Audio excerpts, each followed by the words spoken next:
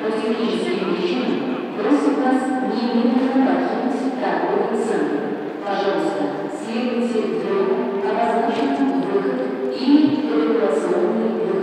Химках прошел единый день тренировок по пожарной эвакуации. Рано утром сирена сработала в крупном торговом центре на Ленинградском шоссе.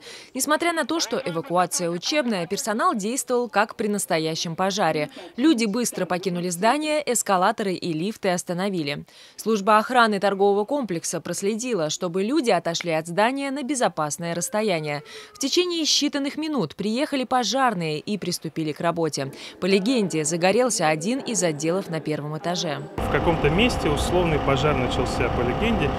Э, люди должны были эвакуироваться в безопасную зону, а пожарные должны были потушить этот пожар. Подъехала пожарная машина, развернулась для тушения условного пожара. Э, люди были к этому моменту уже эвакуированы. Э, эвакуация прошла хорошо.